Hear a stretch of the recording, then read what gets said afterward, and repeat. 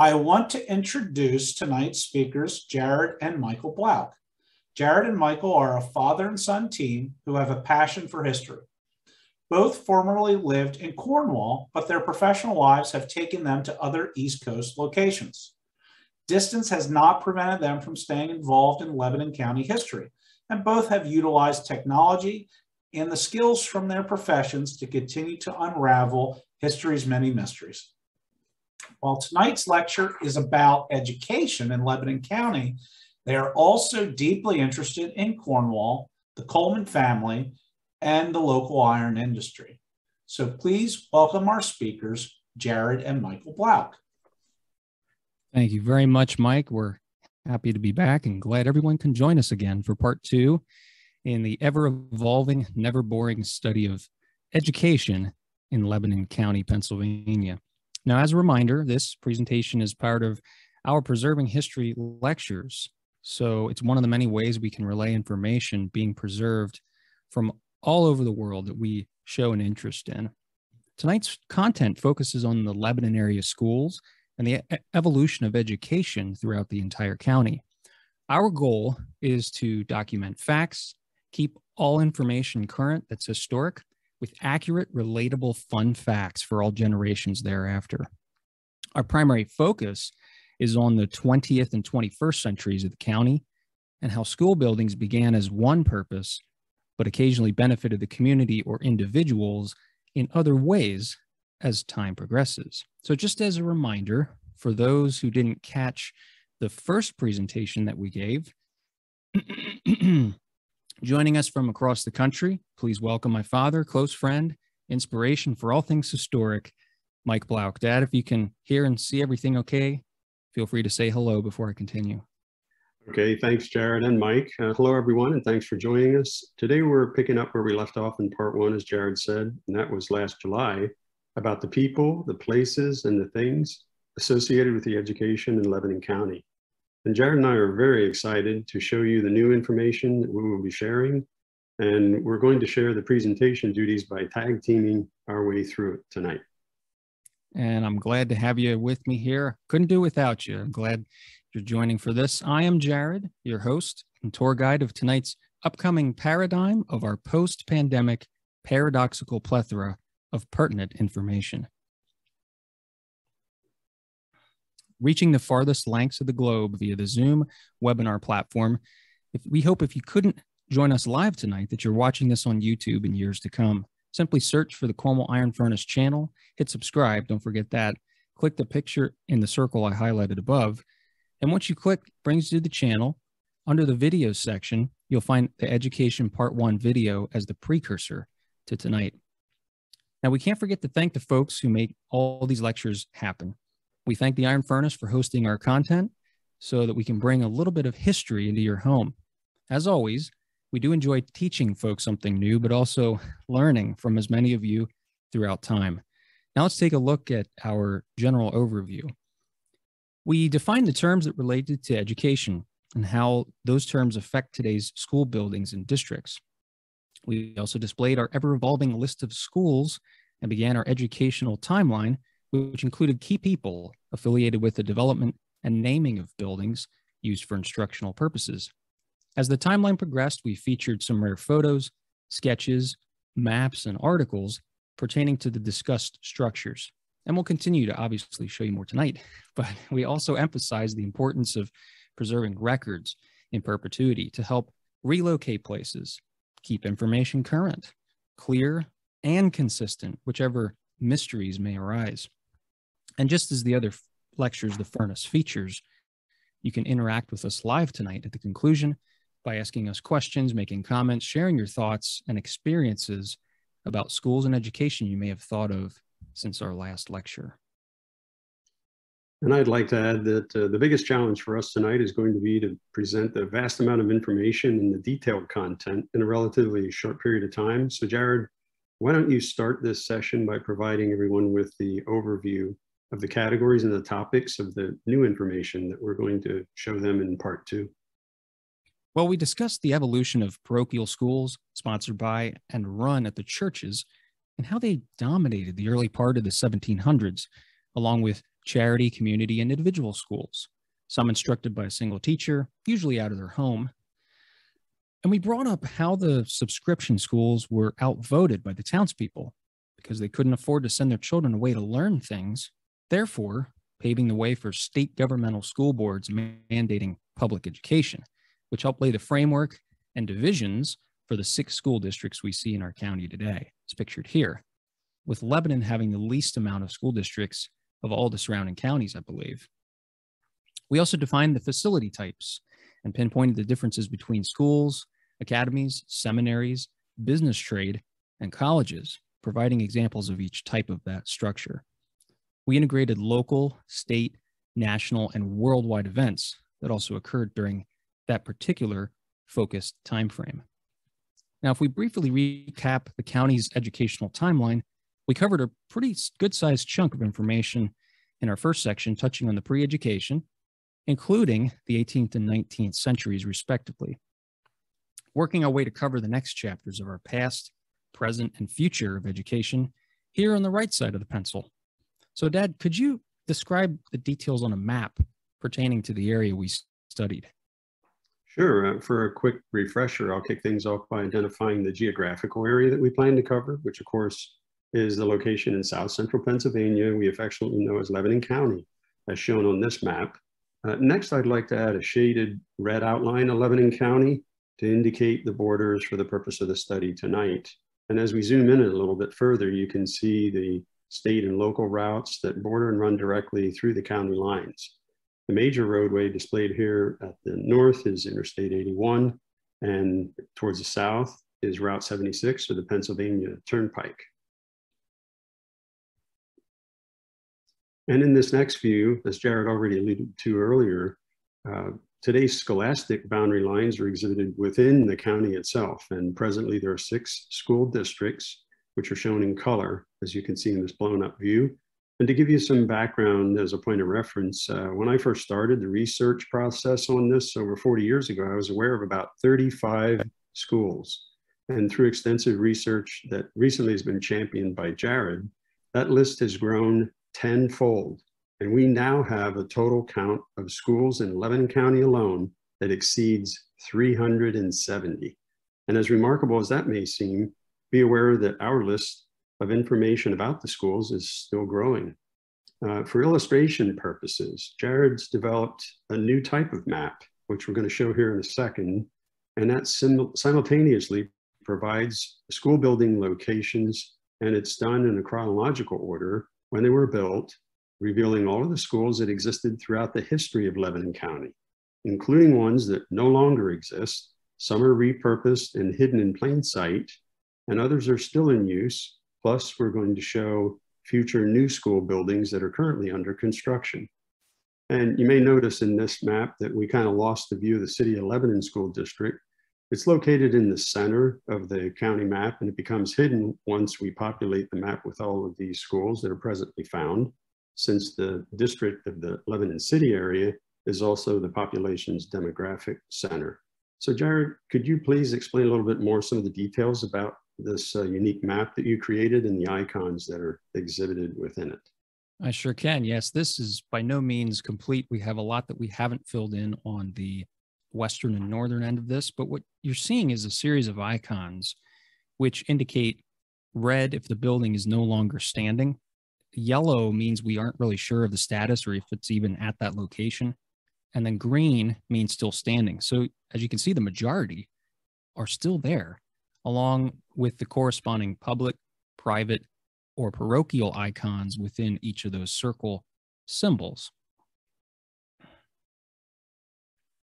Next, we're going to show you a current listing of all the schools. And what you see on this page is a list of 60 schools. It's in alphabetical order.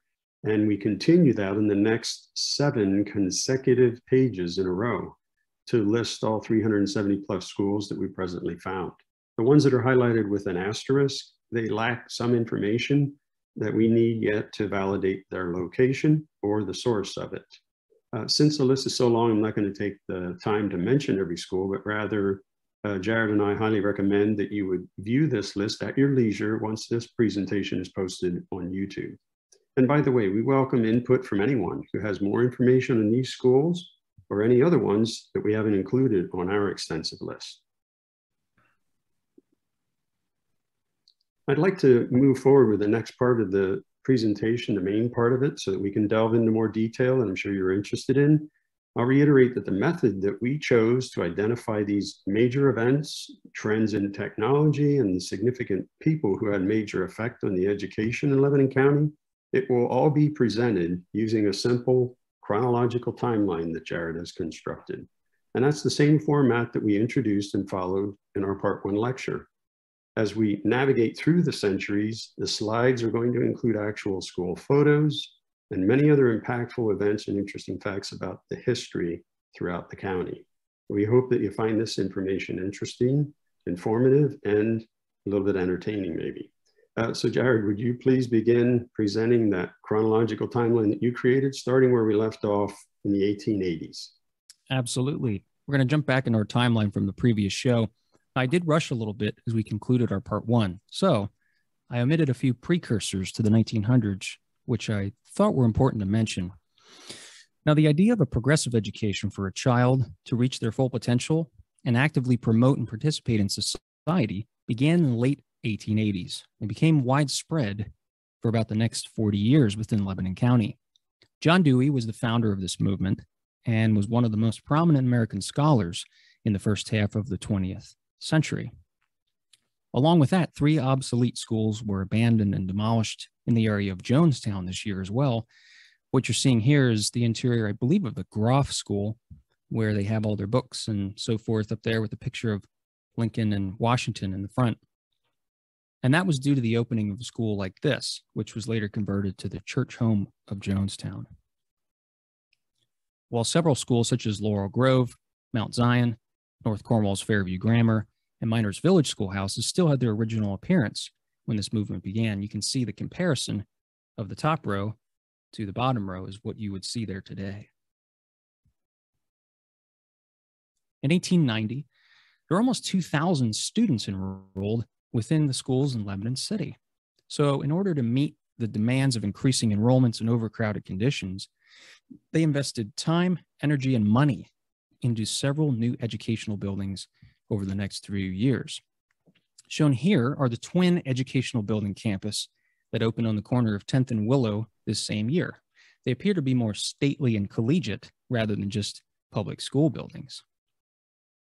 Excuse me a second, Jared. Uh, sorry to interrupt that. I believe this is a colorized photo that was borrowed from one of our antique postcards. And although it is a beautiful image of the school building, there are some things that might not look quite right uh, to the viewers or, and to me. It sort of reminds me of when we played that children's game called What's Wrong with This Picture?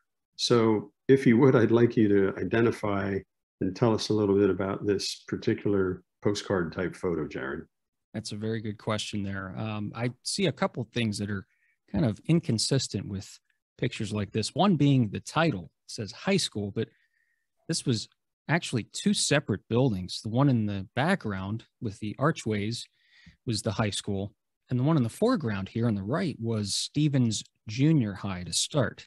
So, in reality, the caption should be high school and Stevens building. And I happen to notice that in a lot of these pictures, the uh, proportions aren't quite right with other objects surrounding it, such as, Dad, what do you think of the, the people there?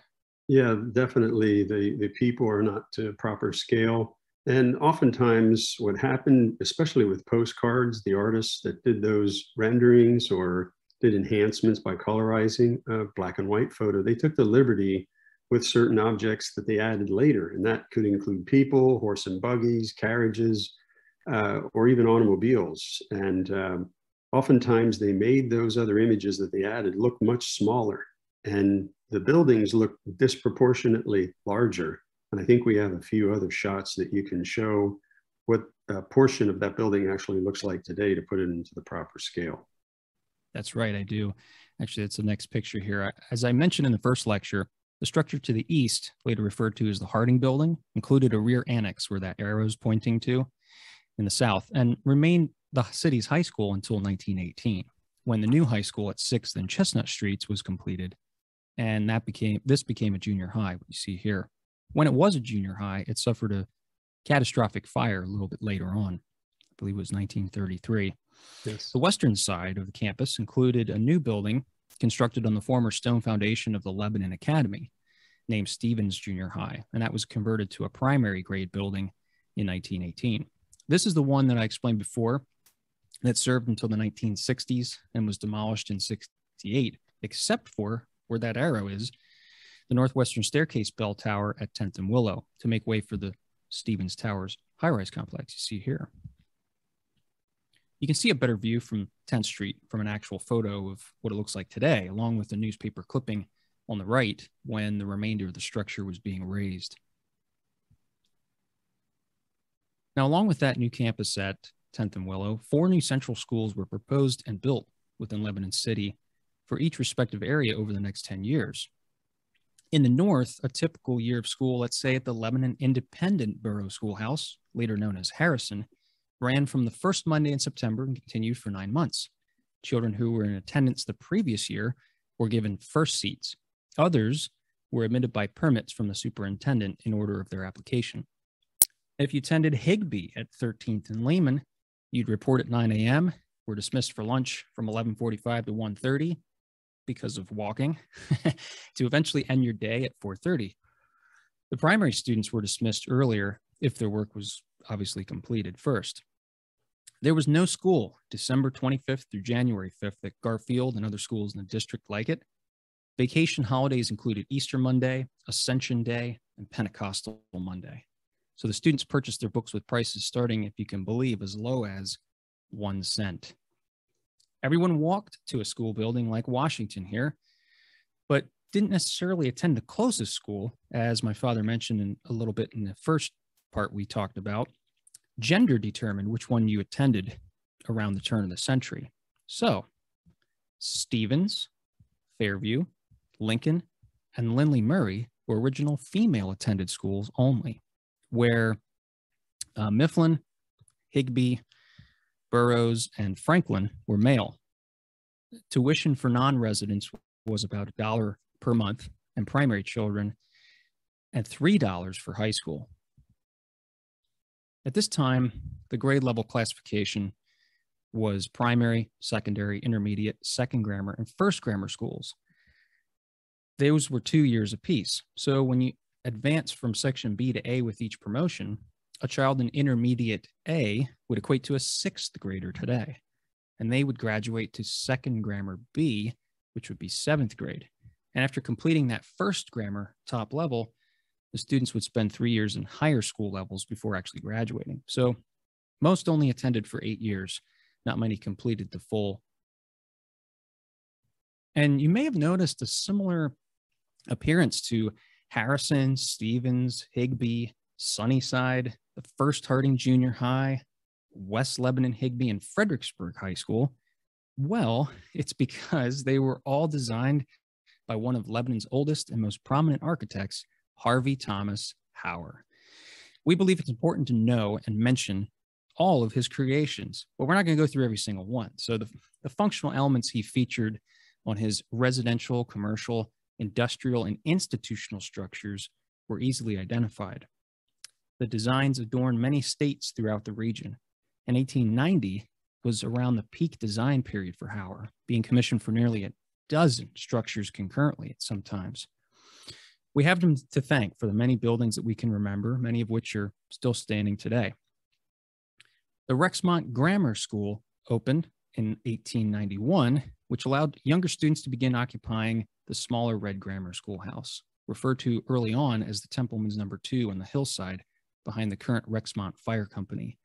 The building shown in this picture up at the site of the park was used until 28 and demolished about five years afterward.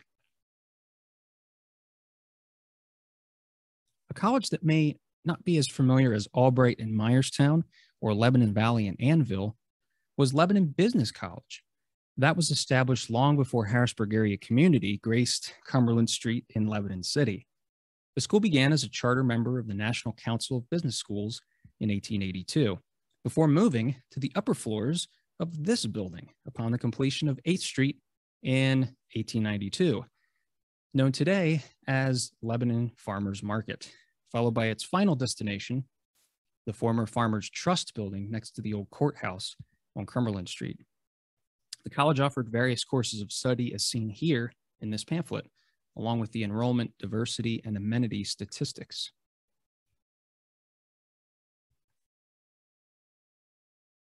If any of you lived in the West Lebanon area, it's possible that you could have attended the West Lebanon or Higbee High School, as it was called later on. It would have appeared to train passengers like this from a distance. Upon closer inspection, it looks very little like the current structure that remains today, other than the small office building in the front and lack of dormers and bell tower. This building underwent many modifications over the years, but remains standing and about this condition that you see here. It continues to serve the West Lebanon community as their current municipal building, as well as the smaller schoolhouse across the street. The previous building replaced the earlier Gothic Revival style two room structure, which was renovated to accommodate the intermediate grades and renamed the West Lebanon Harrison Schoolhouse. The mimeograph machine made its debut in 1895 which is the predecessor to the photocopier, allowing staff to reproduce a master sheet with bluish purple transfer of ink and turning a crank in a circle to produce as many copies as needed instead of writing each copy out by hand. Another new school was built in Myerstown at the corner of South Railroad and Park Streets in 1895. When both larger schools in the town were finished being constructed, the eight one room and one teacher schoolhouses were closed. So grades one through eight were consolidated to this College Street building. Uh, and then 9 through 12 attended this building. A large addition was added in the 30s to the previous Railroad Street building. And this one eventually was sold to Albright College to become Mohn Hall, better known as that. Lebanon Valley College grew steadily during its first 35 years, particularly between 1897 and 1904. The campus had expanded to include Engel Hall, home of the music department, and a partially completed library at this time funded by Andrew Carnegie, along with the South Hall, previously part of the Lebanon Valley Academy, and the administration building seen here in this collage.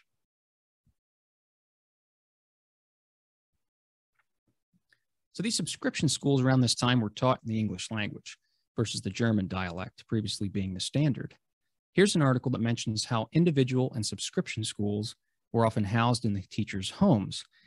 Annville, one of the first areas to establish schools in the county, was the last to close the one room schoolhouses. So before the start of the century, there were no dedicated high school buildings really in the county. The closest thing was the grammar school, where those students were housed. However, shortly after the century began, four year high schools accredited by the state began to spread throughout the county and they were later graded into primary, secondary, intermediate, grammar, and high school levels. The six-year junior senior schools came into being around this time, and the automobile had quite the influence on the county school system at the turn of the century. School buses began to transport students, which helped the districts become more centralized. And by 1900, 31 states had compulsory school attendance for ages 8 to 14. The Washington School, one of my favorite schools, was built in Lebanon City, obviously honoring our first president. It was situated on the northwest corner of 3rd and Chestnut Streets.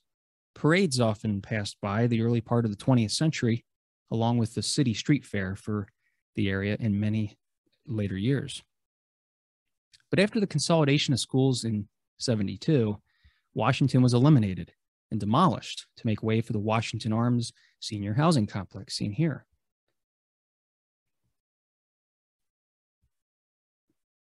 The former red brick Cornwall High School building, later used for vocational work, was originally designed as a two story building by Abner Augustus Richter, but plans were later revised to a longer single story structure as seen in this photo. The building opened in the fall of 02 at Cornwall Center along Bismarck Road, or what we know today as Freeman Drive, just west of the Five Points intersection to the front of the former Robert H. Coleman estate. It was used as a combined grade and high school until the new consolidated building across the street was finished in 27. The replaced, this replaced the area's former Cornwall Township Central District High School of Bismarck, later known to folks living today as Quentin Elementary. It was a step forward in the modern consolidation system that children who had completed the elementary grades in the Byrd Coleman and Miners Village schools entered the advanced grades in this building. It was again renovated in 60, later used for vocational classes, followed by the closure in the early 70s upon the opening of the Cedar Crest schools, and sadly demolished in 07. Today, a small garden is situated on the site of this former structure, but the brown sandstone columns, wall, wrought iron gates, and underground tunnel remain as a reminder of one of the first steps in higher education throughout the Cornwall Lebanon School District. The Schuylkill Seminary, established in nearby Reading in 1881, moved to Fredericksburg, of all places, in, 19, in 1886, which returned to Reading this year, 1902, after occupying this building. It was renamed to Schuylkill College in 23 and merged with Albright College five years later. Miles Bressler, a cigar manufacturer, purchased the former Schuylkill Seminary building in 07 and repurposed it into a large cigar factory that remained in business until the 30s. The Bressler Cigar Company was locally known as the Factory on the Hill.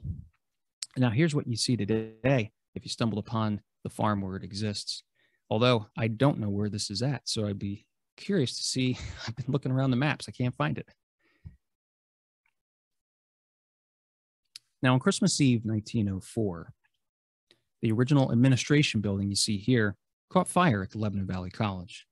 The cause was never determined and had to be rebuilt by the spring of 05, so this new building was completed by the beginning of the next school term.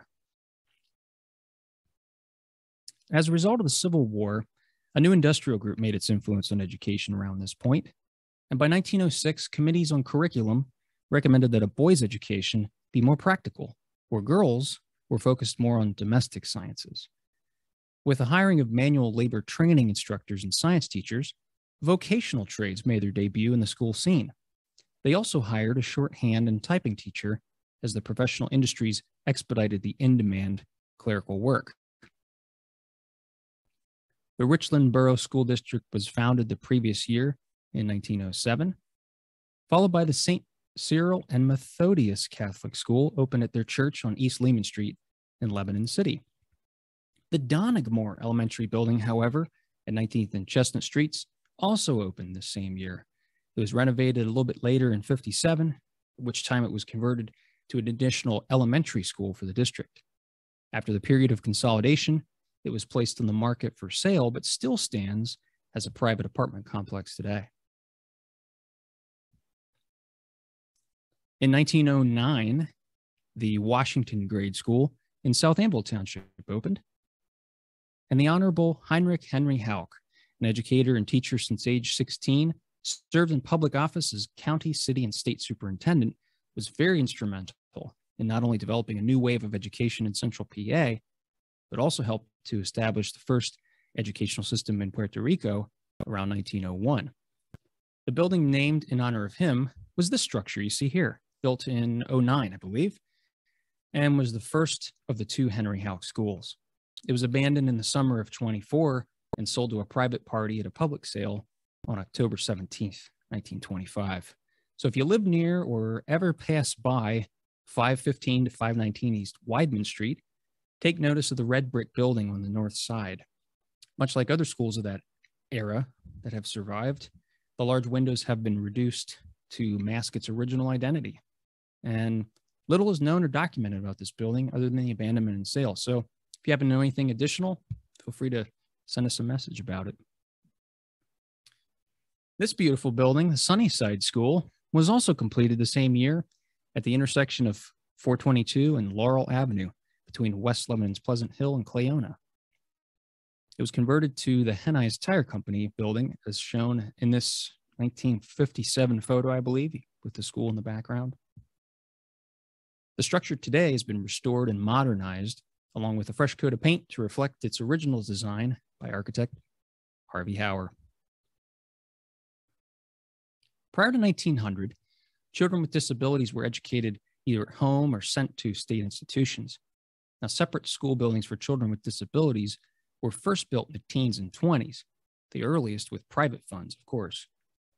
These included enrollment for children who were anemic, pre-tubercular, blind, deaf, or crippled. They included many special features such as ramps, open air classrooms in response to the disability that was to be accommodated at the school. Apologize for the picture, it's the best one I could get, but students began filling the halls of the new high school building in Richland in this photo. And one you may drive by on any given day if you're traveling from Lebanon Annville and Route 422, the Cleona School debuted in 1912 as the area's consolidated school, later serving as Cleona's Borough Hall, but now I believe it houses a private business office.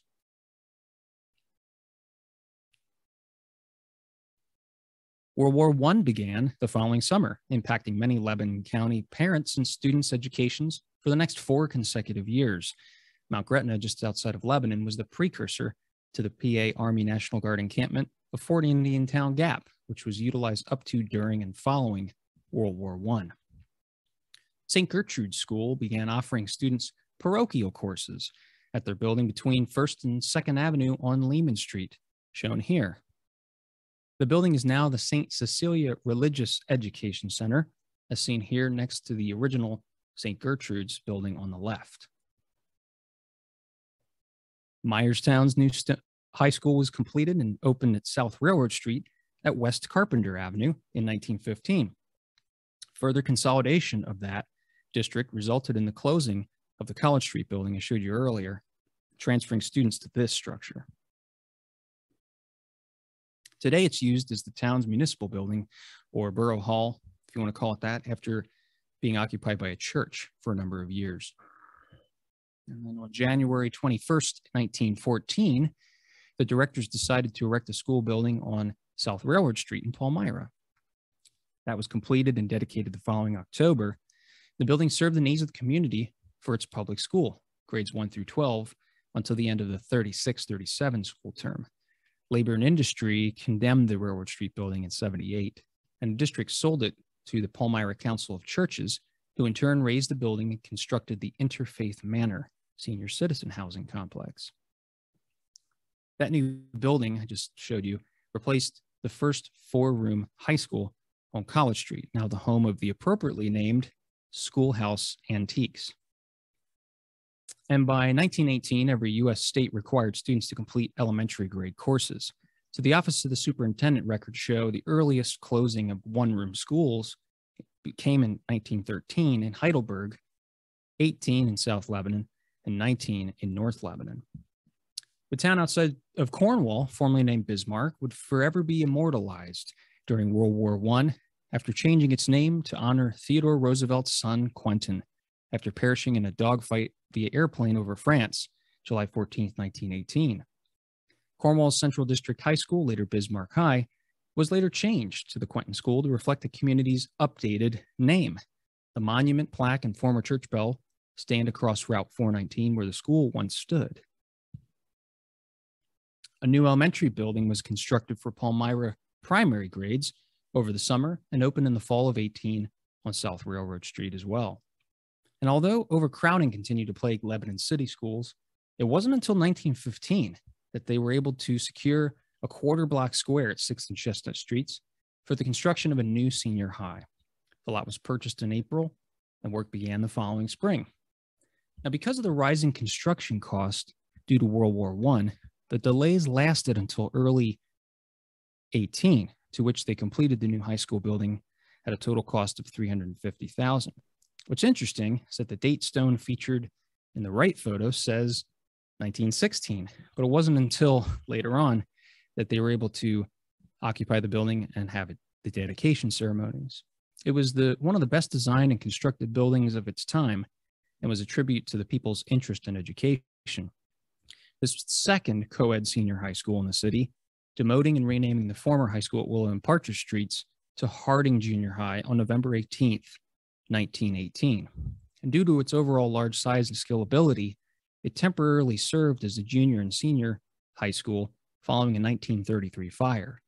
Thankfully, this is another example of a structure that's adapted and improved with age. We know this building today, obviously, is the Harding Elementary. Another important step in the development of the county schools in the mid 20s was the introduction of vocational courses such as agriculture, business, industrial arts, etc. The courses, although very new at the time, were quick to take hold in Lebanon County, one of the state's leading agricultural areas. Just after the Millbach Elementary School opened in 23, all remaining one room schoolhouses were closed in the Schaefferstown area after the 25 school year. The new Henry Houck Junior High building was constructed during the 24 25 school year and included a few elementary students within the same structure. Also named for Henry, as we learned about earlier, this was the direct replacement of the former structure of the same name on Weidman Street. Since there was a great expansion and annexation to the city to the northeast, a new building was required. So this one began construction in 24, opened its doors this following year. So 315 East Lehman Street became the newest junior high on the northeastern end of town, integrating a few elementary classrooms at the time as well. It was renovated in 56 and 71, converting all rooms to serve as strictly an elementary grade levels in preparation for the 72 school year. And then it became known as Henry Houck Elementary.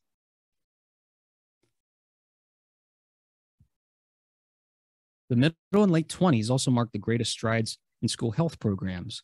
Under the former superintendent's administration, a public schools nursing program was adopted with its parallel program of dental hygiene. These went into effect there long before they were made a state requirement. More recent was the addition of special education for children who require special attention, especially in the matter of speech correction. A new high school was completed at 205 South Oak Street in Annville which opened in September of 26. The 35 classroom nicknamed Greystone building served as the high school until 56 in the Annville Cleona School District. In the late 50s, a new high school building was constructed at the site of the current high middle school at 500 South White Oak Street. This building you see here was expanded and became the new Annville Elementary. Also, the South Lebanon Elementary School consists of a former high and junior high as you can kind of see in that left picture there of the Ionian from 1955. It opened in 26, used strictly as the high school, being built from an earlier frame structure across the road. And it was converted to a junior high after the renovations of the building took place in 32 and 41.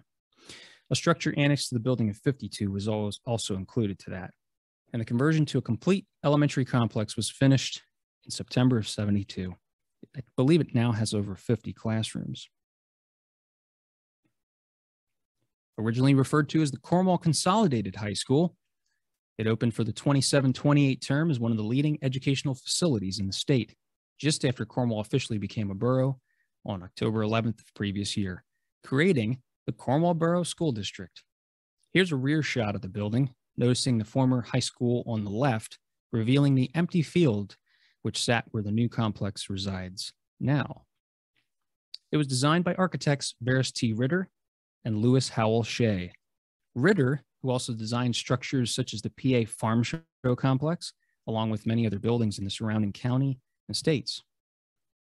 A large brick addition was added to the western rear in 57, which enabled the district to also use it as a junior high until Cedar Crest High School was built 10 years later.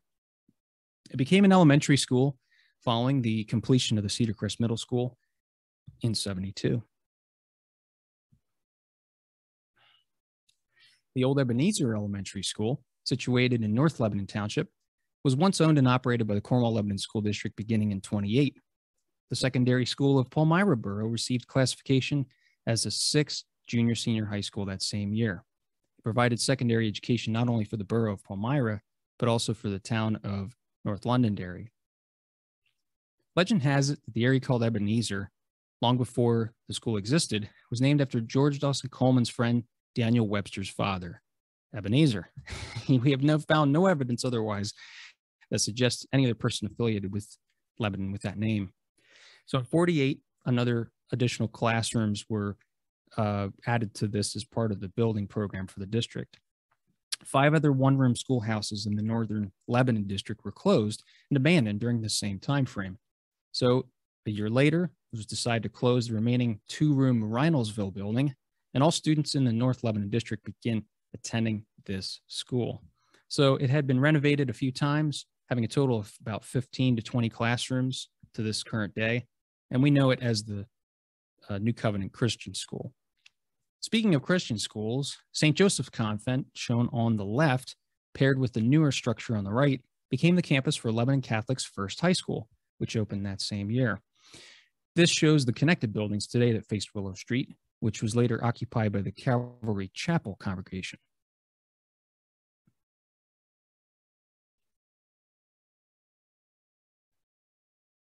The original Schaefferstown High School was built in 36 and used as an elementary through high school until the mid 60s, with a merger of four towns in the eastern part of the county, creating the ELCO School District, converting the building to elementary grades only. It was later transformed into the Schaefferstown Mennonite High School in the fall of 2015. The County Board of Directors was organized on December 14th of 37 and its personnel was made up of directors from all the districts throughout the county. Spring marked the completion of a new junior senior high school building on West Cherry Street under the Federal Emergency Administration of Public Works in Palmyra. With the beginning of the 3738 school term, the building housed grades 7 through 12 in the Railroad Street building. And this one was the uh, grades 1 through 6. So a 10 room addition to the Cherry Street building was completed in 81. The Lawn Elementary Tree Building, which was constructed in 36, was abandoned and sold during, I believe, the summer of 81. And since that, the, district housed grades K through 5 in the Pine Street, Forge Road, and North Side elementary schools, 6 through 9 in the middle school on Cherry Street, and 10 through 12 at the Palmyra High School.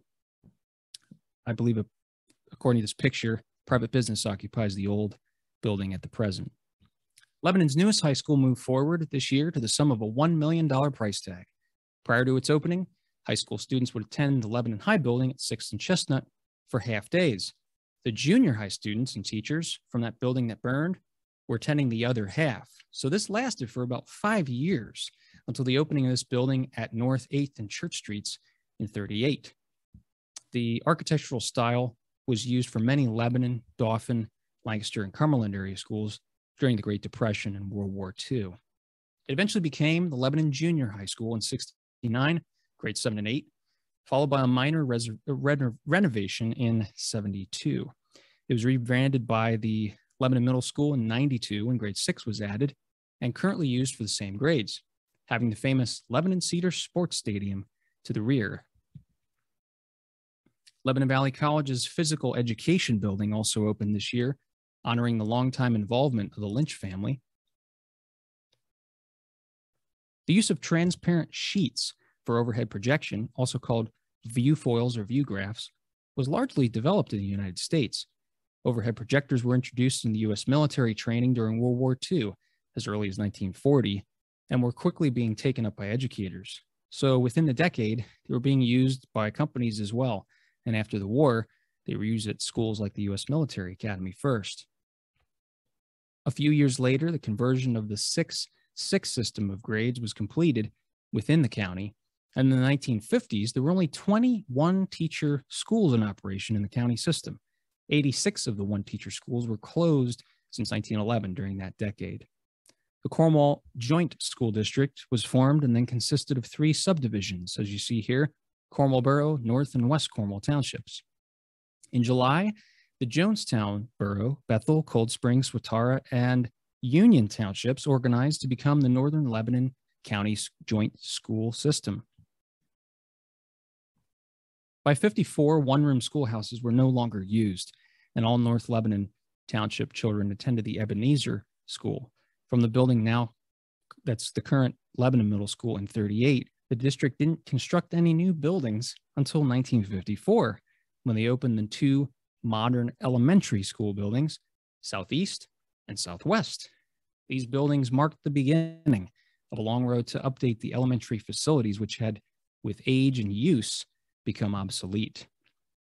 In 1954, the Lebanon School Board asked the public for help in naming the two elementary schools they were building at the time. So the area schools were often named after prominent people, such as presidents, politicians, educators, business owners, etc. And Eisenhower won the contest the same day he was inaugurated to his second term for president for the Southwest School.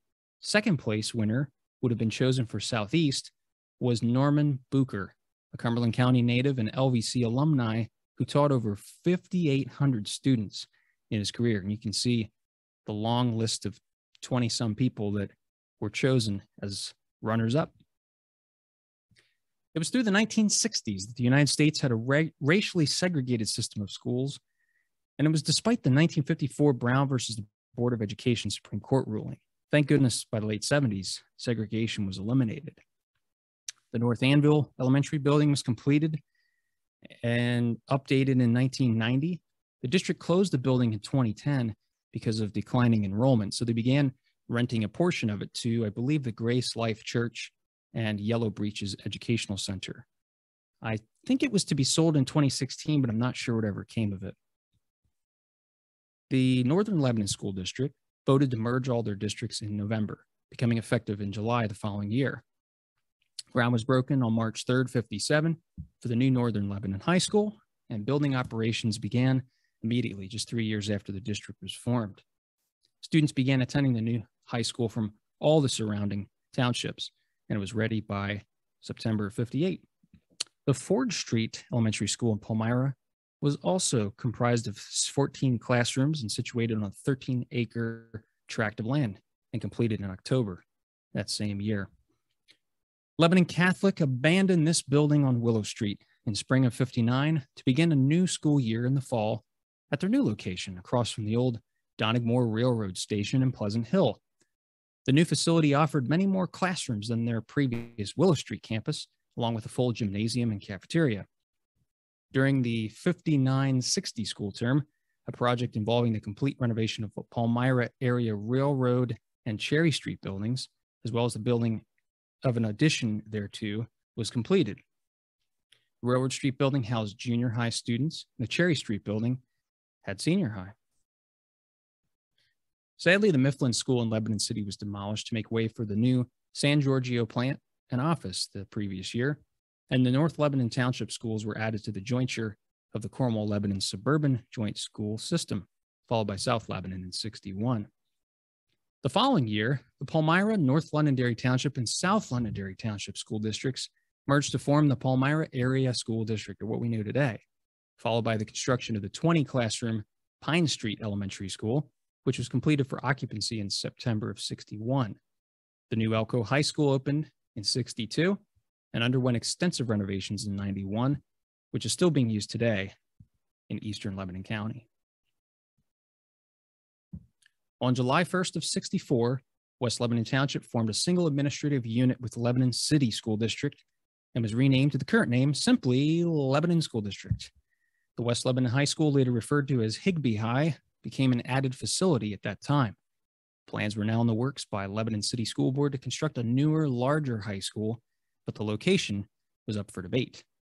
During the 65 66 school year, while Cedar Crest was still being constructed, grades 10 through 12 attended Cornwall High, while all the junior high students were at South Lebanon High School. During the next school year, Mount Gretna Borough students began to attend the Cornwall area schools, and it was decided to rename it the Cornwall Lebanon School District. So Cedar Crest High School along East Evergreen Road in South Lebanon was completed in the middle of the year with over 50 classrooms. A new addition was completed in the spring of 72, and this one holds a special place in my heart because I was the last class to graduate of the previous millennium.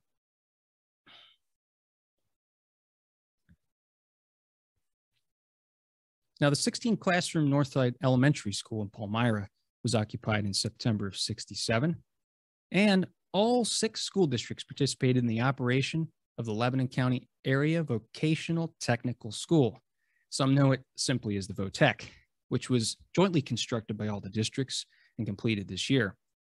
Today, it's known as the Lebanon County Career and Technology Center.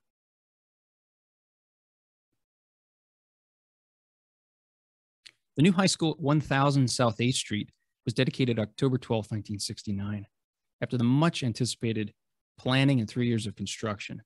The building cost the district five and a half million and was designed to accommodate almost 2,000 students at the time. No, these are not UFO landing pads. It's an aerial view of the high school, which was designed with three two story circular buildings with interconnecting glass enclosed walkways. Each building included a core facility around the related sections were built. So some refer to it as the three ring circus, a contemporary space saving modern 60s design that helped achieve the intentions of the school board to provide a larger junior high campus on 8th and Church Streets, moving the senior high students to the new building. This serves as the current Lebanon High and received quite an extensive renovation in 2013, adding a few additional sections, closing the courtyard to create an atrium, eliminating the connecting corridors, along many other updates and additions. Dad, tell me what it was like to attend school in 1969 at this one.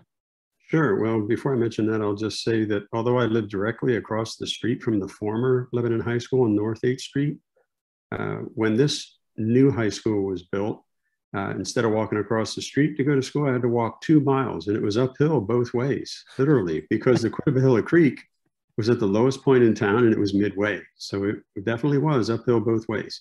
Uh, with respect to this school, though, um, notably, I was part of the first sophomore class and the third graduating class from Lebanon Senior High School in 1972. Other distinct changes that were introduced at this school that were notable is that we had 18 to 20 short modules rather than the traditional six to eight class periods per day. That round building shape and unique class structure still has many students literally going in circles the first few months they attend. Uh, additionally, about this school, uh, it's a milestone for me personally since it will commemorate my 50 year high school graduation reunion. And as Jared mentioned earlier, uh, with respect to those renovations that were made to the center atrium, a fellow close personal friend of mine, an alumnus, uh, Tom Jordan, who was the high school football coach, athletic director, and he became the principal of Lebanon High School. Uh, he will actually be giving everyone a tour of that facility uh, in June. Uh, we're also going to be attending the commencement exercise for the graduating class of 2022. And another 72 alumnus of Lebanon High is a lifelong friend, Kevin Schrum, who retired in 2019 as the administrator of Lebanon County's mental health, intellectual disabilities, and early intervention program. Kevin is also an avid researcher like Jared and, and me, and uh, he's very interested in Lebanon's historical facts, and he's provided some of the enhanced and colorized antique uh, photos of the schools that we used. Um, I'm happy to say that it was the first time in my life that I attended a new school. The three previous schools that I went to were buildings that were all over 100 years old. So it was really a, a big change for me, and I really enjoyed it uh, attending this school. Glad to go back in next month. That's great. And and one of the marked advancements was the introduction of the long overdue kindergarten program at the time when that school was built. So it was now possible for the increased number of buildings that were available that they could do that. So the former Lebanon Senior High here, Nathan Church, was converted to a middle school at the time, to which it currently serves. Now, as desktop and scientific calculators were in their prime, pocket calculators emerged in the early 70s and quickly became popular in schools by offering an alternative to the slide rule. Dad, what exactly did you use the slide rule for? yeah, I know I'm dating myself again, but I'm very familiar with the devices that you're showing here. Well, prior to handheld electronic digital calculators, personal computers, smartphones, tablets, and the like, the method of performing mathematical calculations was done by using a slide rule. It's a simple handheld mechanical analog device with a sliding scale, and it's used to find the answer to math functions and equations. It was actually invented by Reverend William Oughtred in 1622. He was a pretty smart guy a long time ago. And he created both the rectangular and circular shapes and forms in different sizes. The accuracy of the longer slide rules is able to be precise to four decimal places. And throughout the 1700s, 1900s, slide rules were primarily used by engineers, scientists, astronomers, and mathematicians to rapidly solve complex technical problems. They were mostly used, as I said, in the scientific field and in industry in the era to design all types of machinery, equipment, automobiles, aircraft, military, and was an integral part of rocket science technology, believe it or not. Uh, during the time when I attended high school and college, we actually had textbooks and lab classes to train us how to use a slide rule, again, before handheld calculators were invented and became readily available. Uh, but that time was also the dawning of the age of digital electronics, and it spawned new buzzwords and terms like we use today, terms like hardware, software, and of course, high tech. And all of that literally began to transform and shape our modern civilization, civilization and accelerated the rate of education, in my opinion, post the Vietnam wartime era. Yeah, thank you for that. That that kind of sums up what those were uh, was were used for. Um, now, with the closing of the office of the county superintendent on July 1st, 71, the Lebanon School District became part of the Lancaster Lebanon Intermediate Unit, or IU 13, with all Lebanon and Lancaster County school districts joining later for special services to educate the youth of both counties. As you can see there on that map, it was kind of blurry. Sorry about that. 72 was an active, interesting, yet challenging year for Lebanon. The area endured infrastructure changes, a shift in student grades, and the conversion of many former junior high union schools to elementary facilities, along with the severe weather striking during the summer. Coincidentally, Mike Weber will be offering a lecture related to this one month from today on Hurricane Agnes and how it will be affected in Lebanon Valley. I know I'll be checking that one out for sure.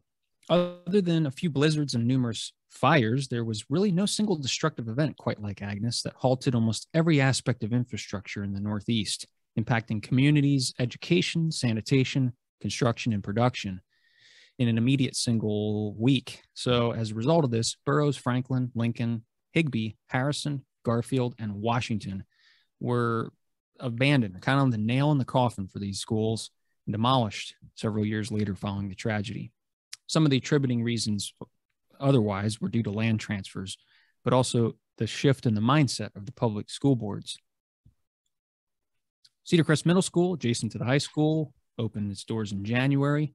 After battling Hurricane Agnes in June, the students from the former Cornwall and South Lebanon middle schools began attending the new one in September that year. As a result of that opening, Cornwall Elementary Complex was converted K through 5 September that year.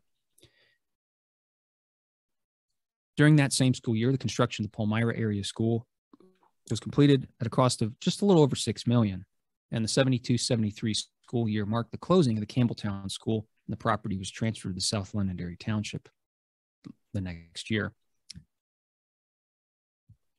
Old Northwest Elementary at 900 Maple Street in Lebanon City opened in the fall of 76 after a land swap with the city of Lebanon, exchanging the properties and four other elementary buildings Lincoln, Lindley Murray, Garfield, and Harrison, to which three of the four would end up as parking lots. Again, a naming contest ensued, which presented names such as Kennedy, Stites, Fort Light, William Penn, along with other potential names. It cost the city three and a half million to construct, serving Lebanon City until 2018, when the replacement cost under the same name was built south of the foothills of Coleman's Park, near the old North Lebanon furnaces. The current owner, Quartz Creek Holdings, is set to transform the building into a office commerce space. A scary event occurred at 4 a.m. on March 28, 1979, at Met-Ed's Three Mile Island Nuclear Power Plant in Middletown, about 25 miles from Lebanon. Parents and students were alerted throughout the morning with uncertainty as to what occurred because it was affecting people in the area, and ultimately they were distracted and misinformed by media frenzy, ensuing panic to residences in nearby towns as well. After deliberations between the state governor's office, Med-Ed, GPU, and leaders of the Nuclear Regulatory Commission, state officials encouraged women, children, and elderly residents to evacuate as far as a 15 mile radius in case of a full meltdown, which temporarily impacted school attendance and operations in the surrounding counties. Lebanon County, being downwind of potential fallout from the incident, caused some residents to take necessary precautions to leave town and stay with relatives out of the potential danger zone. In the case of a large scale radiation leak at unsafe levels, the residents, businesses, and schools would have to be required to be abandoned and vacant for hundreds of years at the worst case scenario. Cleanup began in 79 and officially ended in December of 93 with a total cleanup cost of about a billion dollars. Keep in mind that this was just another example of a man made disaster that affected education. Moving on to 1980, Lindley Murray had been closed for a few years at this point, so it was time to either sell or lease it. Coincidentally, we figured out that this was the oldest public school in Lebanon City still standing today. Didn't know if you knew that, but it was decided that the city would lease it to the Lebanon Lancaster Lebanon IU 13 group that same year until they vacated to house themselves in this building on Cumberland Street and Lincoln Avenue, the old Bethlehem Steel office building. The personal computer debuted in schools across the country in the last few years here, paving the way for these two popular models to be introduced the Apple II and the IBM 5150 PC, forever competing in space in Lebanon County school classrooms and labs. This led to new innovations for forever changing the way students access info, complete assignments, tackle projects, simulate scenarios, take tests, etc.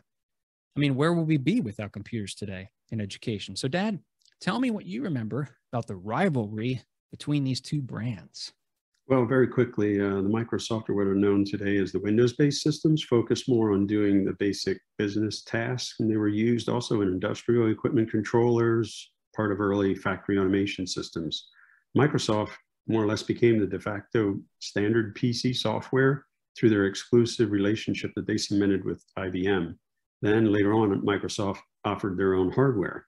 The Apple One, Two, and later uh, what evolved into the Macintosh-based systems provided a more complex tool set with an easier graphical user interface.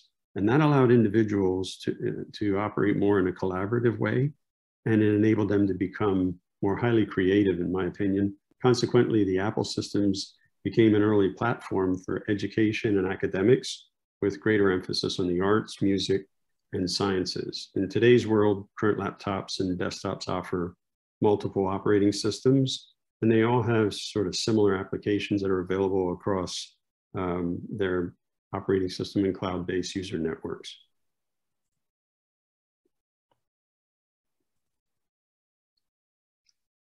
Uh, do you want me to move on? Uh, this next slide showing the dawning of the space age by NASA. And there were many successes uh, in the 60s and 70s, and it was followed by the space shuttle program in the 80s uh, with a space plane that launched larger crew sizes and satellites, space telescopes, and it connected them to the space lab. However, at the pinnacle of success, sometimes that leads to greater risk taking. And as we push the envelope of technology while attempting to advance as state of the art, uh, things kind of went bad.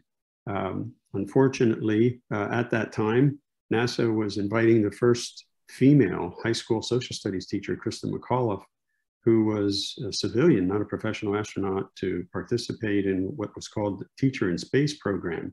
And that was announced by then President Ronald Reagan to recognize the teaching profession and to encourage education in space. Unfortunately, this accelerated mission led to the catastrophic explosion. I'm sure most people remember Challenger STS-51L. Soon after it was launched, it destroyed the shuttle and the seven astronauts on board. And sadly, it was witnessed by many children who watched it via satellite on TV in their classrooms. Uh, during that same week, I was selected to be part of the technical team to identify the root cause of that accident. So that's pretty near and dear to my heart. Uh, that tragic loss caused a major setback and slowed down the space shuttle program for two years before the next launch occurred. And the next teacher was launched 22 years later. The lesson learned there is that sometimes accidents happen in life and the important thing is, what, what do we learn from it? How can we make changes to improve life? And ultimately, I think that's the purpose and the essence of education itself. Yeah, it was another one of those man-made disasters. disasters. Right. Um, yeah, I remember watching that live in my elementary classroom as well. So it was, yeah. it was a bit tragic at the time. Microsoft PowerPoint debuted in the 89 90 school year for the computer users to utilize a digital overhead projector connection that enlarged and mimicked the computer screen for presentations. The slide based viewing and presentation interface forever changed the way teachers, students, professionals, freelancers, and other groups present their content, like we are tonight, precisely. because the current Cornwall Lebanon forms a ring around the city school district, students from North Lebanon were now being bused to the elementary schools in the southern part of the county, prior to Union Canal being built in the 89 90 school year administrators and board members united for a tour of the new Union Canal School on August 20th, 1990, which opened with about a little over 400 students that September 5th to begin the 1991 school year. 15 acre site was chosen in North Lebanon at a total price tag of about five and a half million, 15, or I'm sorry, a 55 square foot, 55,000 square foot facility. And it was situated on the eastern side of Narrows Drive at Mallard Lane. The elementary schools began to get full again in the next coming years. So they renovated it in 95, I believe. And the school was built to supplement the growth in North Lebanon while the old Ebenezer Elementary School was getting too small. So the modern school still serves elementary students to this present day.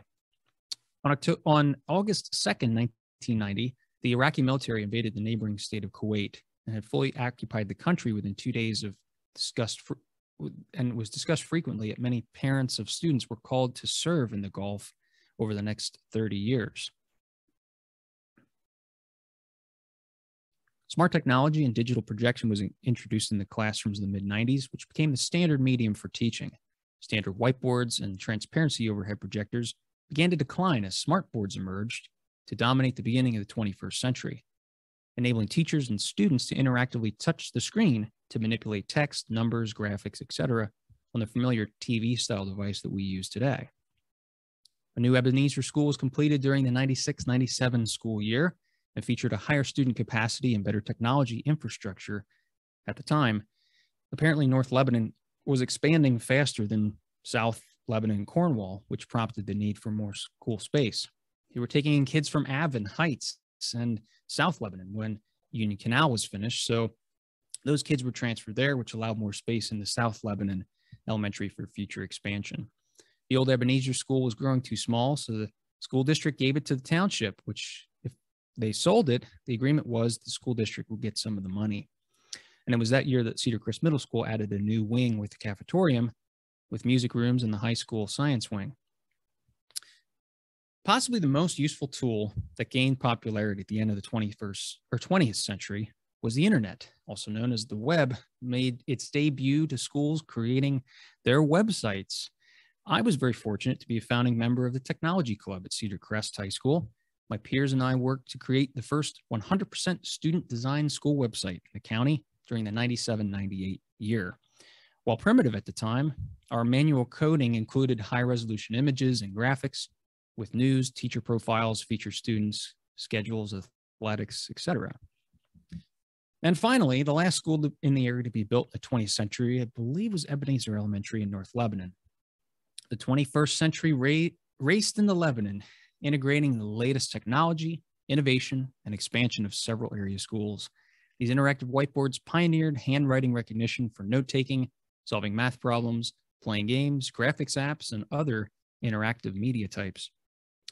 The new Annville Cleona combined middle and high school campus was completed in 06 with a rather unique architecture. Far from looking like your typical school building, the campus features an agricultural suburban appearance, featuring the school colors throughout each structure. They replaced an earlier set of buildings in the same site and provides the latest in classroom technology, athletics, and other scholastic amenities. On April 3rd, 2010, after a successful three years with a multi-touch smartphone, Apple Computer enlarged that device to offer the same technology and compete in the tablet PC market with something called the iPad, another app-based internet communication device allowing full touch interaction between us and the software. At the time, other manufacturers mostly required a pen stylus to touch the screen. Since then, iPad and Android tablets continue to revolutionize the way most of us work, play, learn, and attend school, no matter what your age or experience, both inside and outside the classroom. And a new Northwest Elementary opened, a new 92,000 square foot building in 2018 at 1315 Old Forge Road, which features a STEM focused learning environment, cafetorium, gymnasium, and educational pond area. This replaced the former Northwest building at 9th and 10th Street, Maple, and became the largest of five elementaries in the district, hosting about 700 students or so. And as we're still feeling the after effects caused by the coronavirus pandemic, remote learning has taken on a whole new meaning by necessity in the last two years. We've been challenged to rethink how we handle distance learning, both in the classroom and at home. 2021 brought Lebanon Catholic High School, uh, combined successor to the Our Lady of the Valley Elementary School, was closed by the Diocese of Harrisburg at the end of previous year. And after a one-year hiatus, Catholic education returned to Lebanon County, resuming a 161 year tradition. So, starting this past September 13th, Our Lady of the Cross School began hosting pre kindergarten through 12th grade classes at the former Youth for Christ building in North Lebanon Township.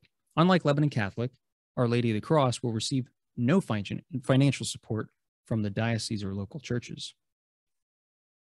There was also some uh, construction that's in the works for pretty much all the other school districts the Lebanon Intermediate School, the Cleona Elementary, and Northern Lebanon Elementary. Progress moves on. So that brings us to today. Sadly, we missed some of the buildings we lost over the last 300 years and hope to prevent it from happening in the future. But one thing's for certain everything changes in due time. We're all still waiting to hear the plans for Lebanon Catholic's former high school campus, Northwest Elementary, the old one, ELCO, North Lebanon's elementary still being constructed, and countless other treasures to see what will become of those establishments. These potential multi million dollar projects will provide technology workspaces, science labs, industrial arts, fine arts, and emergency medical technician programs. And then you have the old school guys Webster, Donegal, New Salem, Pleasant Sight, still retaining their original look and feel as if untouched in the last half century, while the new Northwest and Ebenezer buildings still have their rookie stripes for the next chapter in education of Lebanon County. I'm often asked what my obsession is with saving old buildings. As we wrap up here, the photos on this page are merely a sample of actual schools still standing scattered throughout the county. Keep in mind that more than a dozen of these schools are hidden in plain sight, some standing proud and serving their purpose in other ways, others not so fortunate in the battle of time, withering away year after year. And as we drive on main thoroughfares and back roads, maybe an occasional trip to the grocery store, sightseeing along the highway, we they are woven into the fabric of the communities that we live. And as you take a look at some of these pictures on here, you can see that they're still around. We might not see them, but they're still there. And I pulled up a little kind of a sad graphic here where shows a building like you'd see one in Lebanon, but it's actually a, a gas can. And the caption says it takes energy to construct a new building. It saves energy to preserve an old one. And that's kind of the message that we're trying to get out to people. So, what does education look like in the future?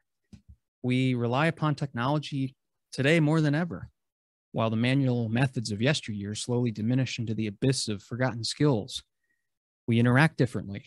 We share information and learn in a higher dimensional and spatial atmosphere more than ever. Be cautious not to forget how education began or how it evolved to bring us to the present and accelerate us into the not so distant future.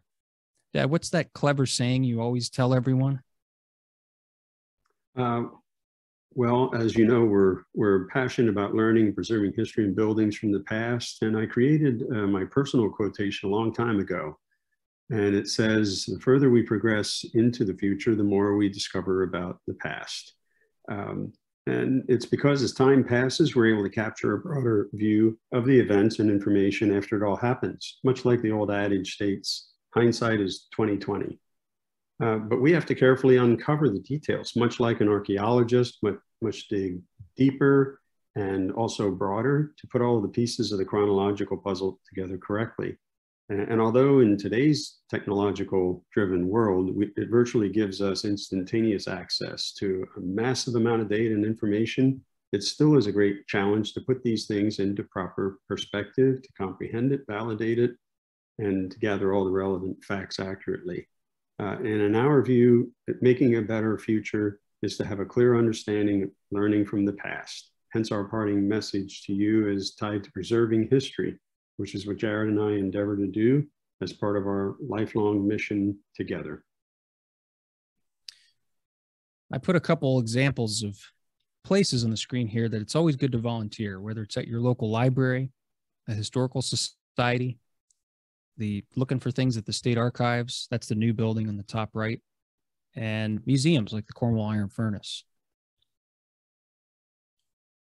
I put a couple information sources on here because we try to not rely on stories more than primary sources of, of information. So a lot of the ones you'll see here with years behind them are books that have been published locally in the area, along with a lot of newspapers, a few libraries, a lot of personal collections that you can get access to if you ask nicely, and uh, a few online websites. We want to give a shout out to uh, Lebtown for uh, giving everyone creating awareness that we're that we're doing this sort of a thing. It's important for everyone. And it's been fun sharing all this information with you. We really hope that you learned something you didn't know or sparked a distant memory from your childhood, but we can't forget to thank the ones who made our research and these favorite topics possible over the course of this whole project. So we've enjoyed working with and plan to continuing to partner with the folks at the furnace, but we also wanted to send a few call outs to people such as, uh, you know, Mike Henry and uh, Kathy Donaldson for hosting this, uh, Sue Wenzel and Mike Trump. They're also on the board of the Friends of Cornwall Iron Furnace. They've wor- been working together as school teachers and historians for many years. I probably spent hundreds of hours on the phone with Sue Wenzel for the last couple of years. And uh, a gentleman that contacted me not even a year ago during our last presentation, Jack Kiskaden, most of his photos, or most of our photos that we've had on here, were from him. Uh, that were especially the collages and things. He's taken a lot of those, and I've been very thankful to gotten in contact with him because when we don't know something, he usually does. So we thank Jim Polchinski as well for mentioning us during the last uh, presentation of his working on the interpretive signage with the furnace coming up soon. Donald Brown, the National Institute of Deltiology founder, he's still ticking out there, and uh, he was a very big help with the eastern section of the schools. But we can't forget to thank the Harpel family the uh, maintainers of their trust and collection that dates back even prior to the Civil War. So um, thanks to Sue Bowman also. She wasn't on this list. She was kind of a late ad, but uh, we really appreciate her exposure and uh, and gracefulness with her articles that she's published in Lancaster Farming. So thank all the teachers, faculty, and administrators and students out there that you know. We really uh, just thank you for joining us for part two of our special presentation for education in Lebanon County, exclusively offered by the Furnace. So, although this is all we feature in schools at this time, we have endless data on these places documented in our big database. And uh, don't be shy, reach out to us, keep your eyes peeled, and we'll have more exciting content in the future, I'm sure. So, appreciate your watching, learning, and participating. Mr. Emery, we'll give it back to you. All right. Well, thank you very much. Uh, uh, certainly was a trip down memory lane uh, for me, though not necessarily here in Lebanon County. My, my family's from northwestern Chester County, so uh, experienced quite a few of the same things. Uh, I know my uh, paternal great great grandfather was in charge of a township school district in the 1930s and 40s and my paternal great great grandfather was in charge of the same district at the turn of the century.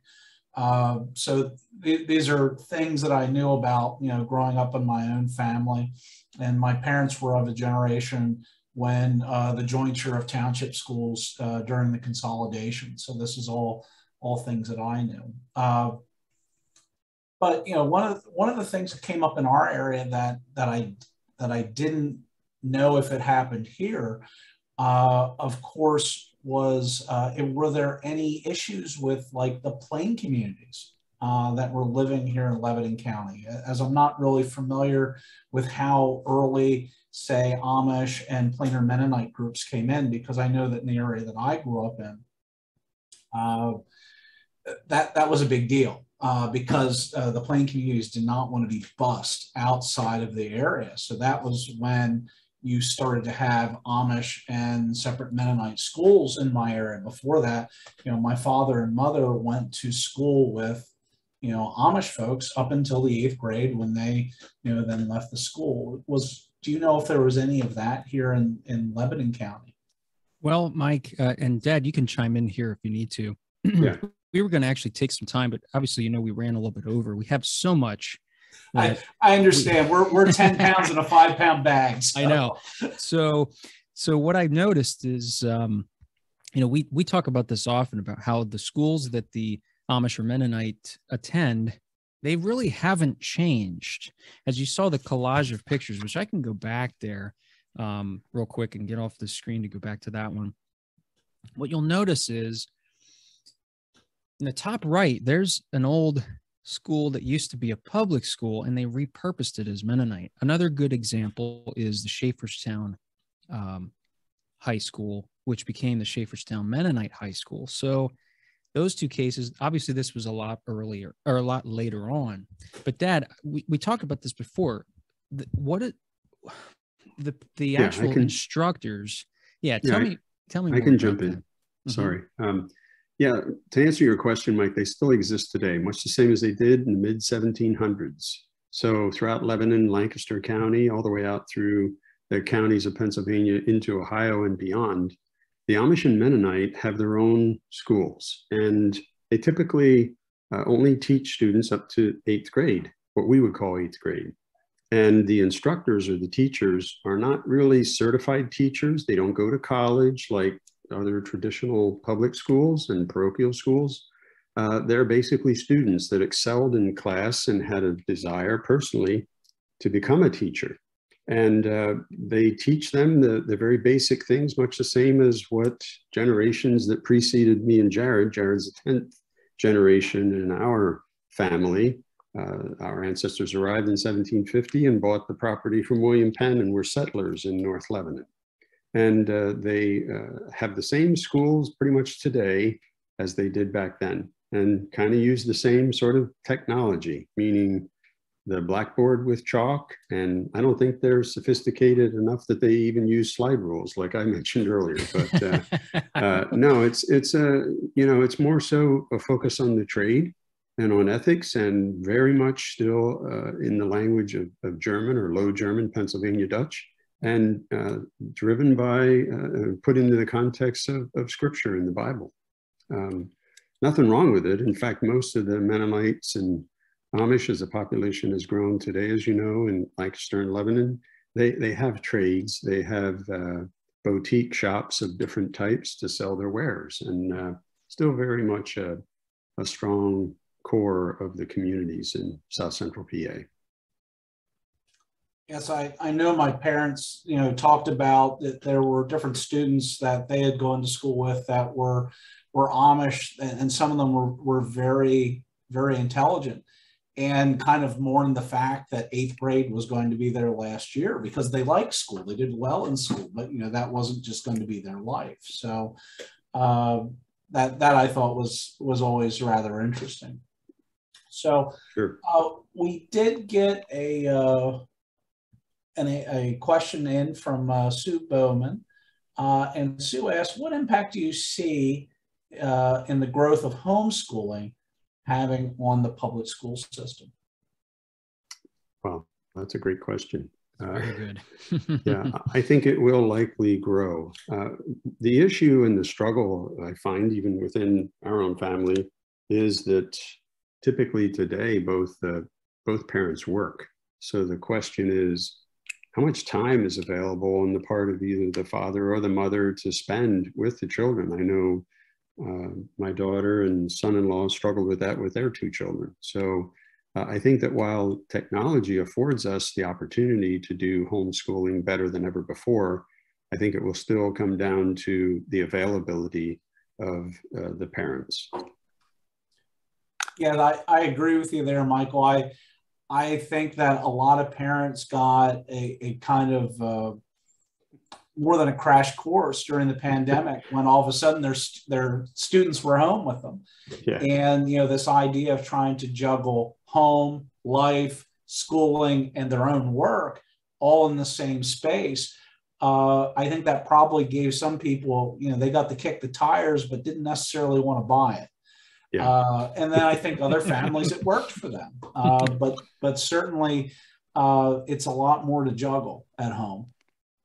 Yes, and I think there's definitely social benefits that everyone has experienced and learned as a result of this uh, homeschooling during the pandemic era. Uh, I, I know there's it's important for children to grow up together and not just to be around mom and dad or you know brother and sister at home while they're also being schooled. So I can see it from both sides. It's a great question, and I don't really know the answer. I just have some very basic thoughts about it. Well, I'll, I'll ask both of you. We, we don't have any other open questions right now. Are there any particular school buildings that you say are your favorite within the county? wow. That's a great yes. question. Too. I know that might be first? like picking a favorite child, but you know, I'll, I'll ask the question anyway. Should I should I go first, Dad? Sure. Okay, so simpler for you. I I find that some of my favorite buildings are no longer standing, and it's hard to say that because I've never actually seen them in person. But the design, the look of them, I, I can only get in a description from other people, and I feel like any building that was designed by Harvey Hauer is one of my favorites. This one being uh, here is was Washington. Um, I don't know why it looks sort of like a White House uh, design. It it's Independence like the, Hall. Yeah, it is. Right. It, it, looks like a white, even though it's a standard. I guess it's like a mixture of colonial and you know right. these other styles. It's just it's beautiful. I don't know how else to describe it. Um, and I, I, I would say it. any of them, you know, in that era. I like a lot of the older schoolhouses, even even ones like um, the I remember going into uh, not for um, instruction, but the Cornwall School near the furnace here, across from the elementary, that was later used for storage. We used to go in there, and they'd have uh, different things going on in the basement and things. But I like the look of that school. It's it's a I often talk with Sue Wenzel about this. It's a shame that they had to tear that building down uh, when really the land wasn't planned to be used for anything else. So um, that's just another example. I did like the look of that school.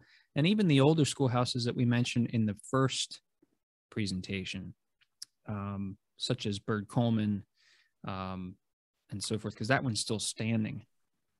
Yes. And now it's really hard to say.